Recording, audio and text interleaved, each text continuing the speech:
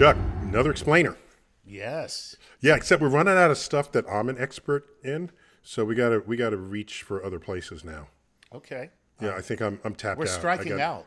I got nothing left. We're boldly going where no podcast has gone before.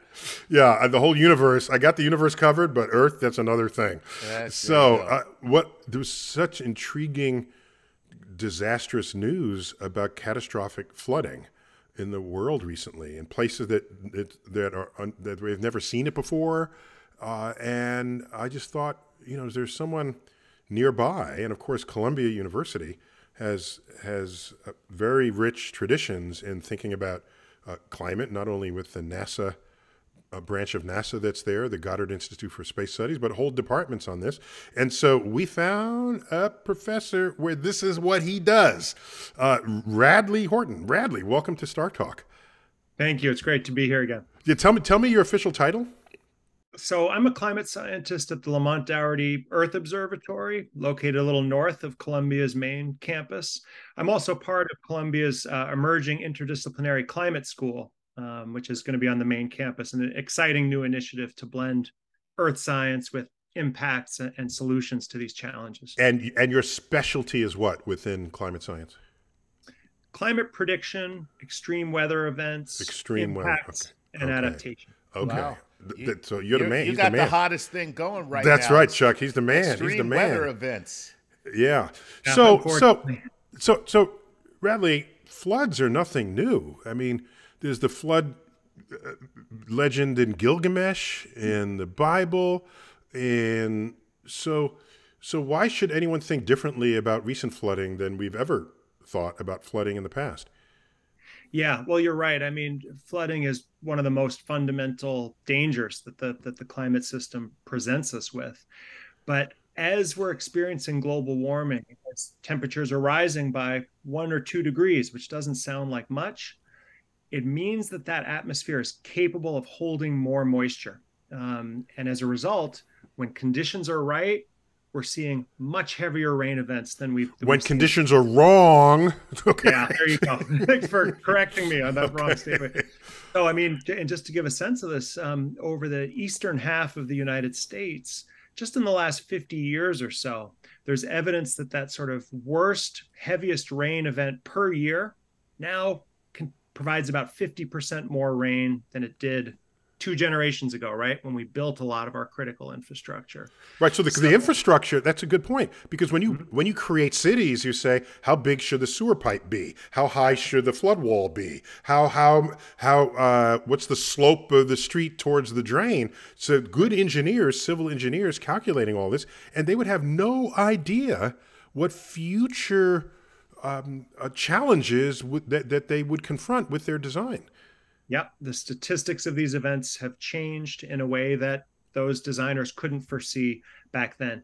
And what's really, you know, distressing about it is, let's just say you increase the rain by 20%. Um, that doesn't mean 20% more flooding. It might mean 300% more flooding, right? Because it's like you don't flood at all up until a certain point, and then boom, things can get out of control uh, in a hurry. And put on top of that, a lot of this infrastructure is aging, right? It's beyond its intended lifetime, or we haven't invested enough to to maintain it. So it's a it's a challenging situation. Yeah, we, we never invest enough to maintain or to take preventative measures, but we always have enough money to pay for the damage, which runs normally five to 10 times more than the investment. an ounce of prevention, right? A dollar towards yeah, no, that's right. Okay, so holding cities aside for the moment, uh, could you tell me what is physically happening in a flood? Normally, when it rains, the water just goes into the soil. If it rains a little more, why doesn't it go into the soil a little more? I don't, I don't see the problem.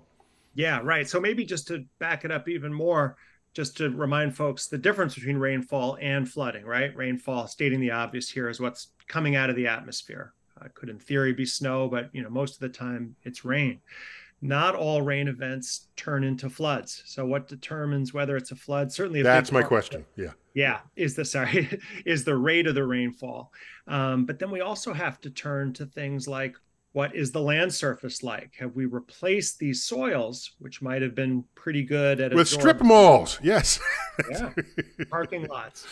Um, you know that's going to increase these flood rates dramatically. When we see regions that have experienced deforestation, or maybe forest fires during drier times, uh, eliminating some of this vegetation, that can set the stage when it does rain again for moisture not getting taken up by the, the soil, which gets sort of a, a firm surface to or it. Or the root systems of trees, right? Exactly. Yeah, right. the, the, trees aren't there to take up that moisture anymore. Um, so we get more extreme flood events, largely due to these longer lasting rain events and more intense rainfall per hour, right? That because that sort of worst hour, worst rate of rain that matters the most. But there's these other components too, how we're changing the landscape and decisions we make about things like dams too right also have uh, and water management also have have implications we've seen footage the most I've, the one i've seen most recently is flooding in las vegas where mm-hmm. it hardly ever rains there so i guess there's a difference between heavy rain where it has rained before and heavy rain where no one has any clue what to do about it because all the roofs were leaking into the interior because yeah. no one checks if the roof has holes if it never rains right? Absolutely. Eh, there was water flooding out of the lamp, the light fixtures, and the ceiling, going on all the, the crap tables and and the eh, and the the bedding machines. And I just thought to myself, wow, this is something nobody predicted. Yeah. Oh, you you would have predicted it. You predicted. no. Maybe I'd like to like to say I would have. I don't know if I would. It's it's it, these things are happening so much faster than. And what happened in Pakistan? Update me on that. Okay, so the you know I was I was looking into that recently. We're over a thousand deaths now as a result of these rain events. Uh, wait, wait, is Pakistan in the in the monsoon zone or not? Pakistan is in the monsoon so zone. Monsoon is flooding, and they get that every year. So why is this different? It does. They're really at the extreme sort of western edge of the monsoon zone. And what that means is the monsoon on average arrives later. It's a sh- relatively short monsoon season and it can vary quite a bit year to year. Sometimes it doesn't make it all the way into extreme parts of Pakistan. Um, but this is a so there's high variability generally there in the monsoon, but it's been really extreme this year since they started keeping records in roughly 1961, a little while after partition.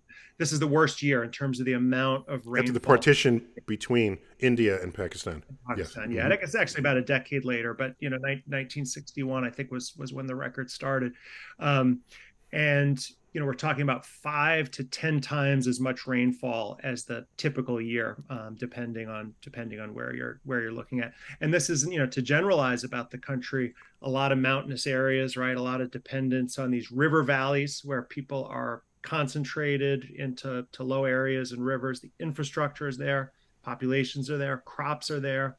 So when you get that water being channeled uh, through these mountain valleys, um, the people, everything is concentrated in a way where the, the recipes there for really extreme suffering. And we're seeing that by some estimates, I think 2 million homes roughly damaged or destroyed. Mm crop systems, you know, extremely affected. Um, 33 million people, uh, by one estimate, uh, you know, experiencing. So here we, here we have a case where Pakistan is not one of the big carbon footprint emitters of the world, yet they're suffering badly from the inaction of other nations that are, and that's that's tragic it's tragic and it's not fair, right? Just as it's not fair that uh, young people who haven't been responsible for for emissions are going to be the ones who who suffer the most. Uh, inherit the mess.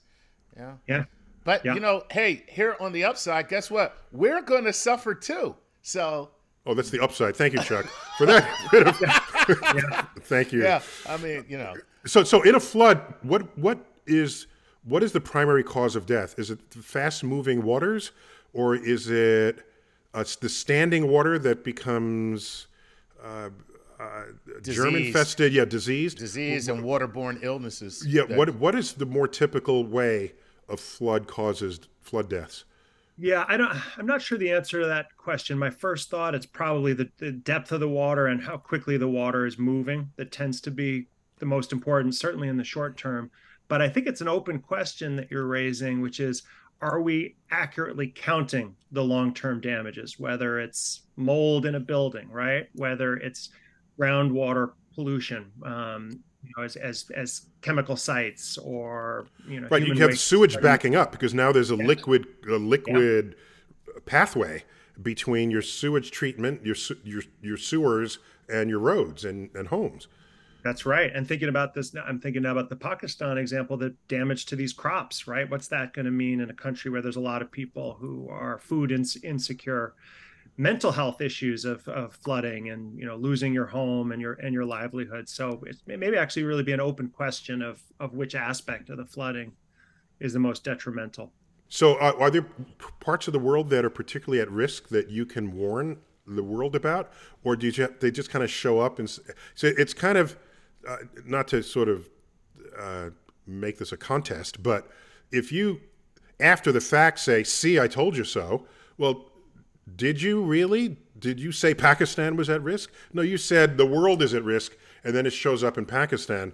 Do, uh, do your models allow you some precision of time and place that was weren't available previously to planners? Yeah, climate models are, are improving, I would say. You know, the climate models help us do these long term predictions. What are the statistics of heat waves and temperature going to be? That's just not helpful if I want to plan for tomorrow's no. flood and I don't right. know it's going to flood tomorrow. Yeah, so we have weather models too, which are you know what are used to forecast what's going to happen to a hurricane, for example, next week. Those certainly are improving. But just to distinguish, you have climate, yeah. which is long-term averages, and you have weather, which yes. is what's happening in your weather forecast, right? Yes. Yeah. And mm-hmm. those those forecasting models have improved. Uh, just a, a, a general statement you hear sometimes is that weather forecasting of today is as successful looking out about five days as weather forecasting was a generation ago when looking out three days, right? Or even so, one day. No, I remember you didn't know if it was going to rain tomorrow. You, you had to. You, your, your picnic would be on hold until you know that morning. And unless so, unless your grandfather's bursitis was acting up. what a rheumatism! what a rheumatism! right on the now, porch. You, oh, got to be on the porch. On yeah. the porch. We're in for a big one. I'm letting you know. Chuck, yeah. one day I want to meet all your relatives, okay? so, all right, Radley, what about the bursitis predictive forces? right. you have an old man on how's, your porch in your, in your lab? That's a question I've never gotten before. I'm stumped. Yeah. right. So, so, tell me, let's get back to what I asked um, are you? Do you have what kind of precision do you have about certain regions that are highest at risk? Yeah. So in the sort of time scale of the weather forecasting, you know, we're getting better at this. One thing you're hearing more and more about now is these atmospheric river events, these plumes of moisture, uh, sometimes referred to as the Pineapple Express, because they often originate, generally speaking, near Hawaii, right, with all its with all its pineapples. Um, under the right conditions, you will get a narrow ribbon um, in the atmosphere of moisture, essentially a, a, a, river that can flow right into land. And then sometimes, if the topography is right, topography is a huge part of flooding, start to rise up, say, the Sierra Mountains in California, dumping out all their moisture rapidly. We're seeing instances now where some of these events can be predicted a week or so um, in advance, roughly. That's definitely progress longer term you know how good is how strong is the monsoon season going to be for pakistan next year a year or two from now we're making progress but there's still a lot of uncertainty and i think a lot of surprises a lot of areas have to assume that things that they didn't plan for could happen it would just be helpful with all the naysayers yeah. if you could say you know in the next yes. two years this region is going to have a catastrophic flood and then it does right yeah then yeah. they'll shut up finally and listen to you guys. But yeah. one one thing you can say with, with, without in, without any reservation is that uh, we have seen an intensification of all weather events due to climate change and the climate crisis. And with that in mind, if you look at the worst thing that has happened to you historically, you can count on that happening again and, or something worse, or something, or something much worse. Yeah, is that, is that so a fair statement, Radley? That's what you should be. That's what you should be um, preparing for. That is a fair statement. And mm-hmm. and anytime we go beyond one city or one season, we have more statistical power. So if we start talking about a nation as a whole, the world as a whole, or an average over five or ten years, here the statistics are totally compelling, right? We're clearly seeing those heavier rain events more extreme heat waves, fewer cold air outbreaks, and more droughts, right? And some people do need to plan at those scales, right? Your insurers, your reinsurers, your emergency management officials, they need, they should be, need to be looking at that whole picture as they balance their their resources. And geopolitically, so, you could have uh, climate oh, yeah. refugees when there, uh, what some nations in the in the South Pacific, where the Absolutely. the average is was a meter above sea level or something or less, and. Yeah yeah, no, right. We've been focusing on the, the, the sort of flooding that's coming from rain events, but let's keep in mind too, as sea levels rise, as you note, coastal flooding, right? These these storms that are piling water up through their winds along the coast are going to cause that water to go much further inland than it did in the past, even if the storms don't get any stronger and the winds don't get any stronger just because the bathtub's higher, right? Sea level's higher. Right, and, right. And for places like, you know, where where we're sitting in New York, during a certain storm, it might be the blend of all three higher sea levels, a stronger storm pushing more water on the coast, and heavier rain events. Yeah, exactly. So, uh, that was uh, that was uh, the remnants. They call it the remnant of Hurricane Ida. So without the wind, we had a larger storm surge than a hurricane. The most rainfall that ever happened in the shortest period of time which resulted in greater flooding. That was in Manhattan, right? That was right. in Manhattan. Right, we're, right. We're talking about New York City here. Right, right. Yeah. So it's a, it's this idea of like the compound risks, the multiple risks. Mm-hmm. A lot of city planners have said, how strong might the storm be? How high might the sea level rise be? How much rain might we get? You got to put it all together. How are the risks of, of all these things occurring? Plus, what phase of the moon does it, does it have? Does it hit your shores? Right. Yeah, For, that's right. Yeah man. Yeah. What phase and what time of day? It's crazy. Yeah. It's crazy. Well, one thing that you said, Radley, that uh, everybody should take into account, uh, which is insurance companies. If you want to re- realize how real this problem is, there is not one insurance company on earth that does not have – climate crisis contingencies and uh, predict- predictive models in their business plan going yep. forward for the next 50 years. Yeah, they in the military are the leading major agencies that are not climate deniers in this That's right. in this equation. There you go. And of course, right. Radley.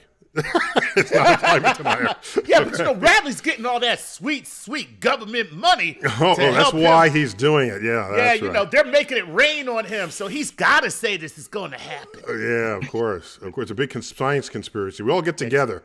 That's right. what. That's right. Right. Yeah. Crazy guys, we got to end our, our explainer here, but this is fascinating, Radley. Uh, this is it's it's not every day we just get a behind the scenes on what's going on not only in the world but in the models that predict it. So thank you. We'd love to get you back on, and because we'll we'll we'll find other excuses to do this again because this is not your only bit of expertise you can share with us.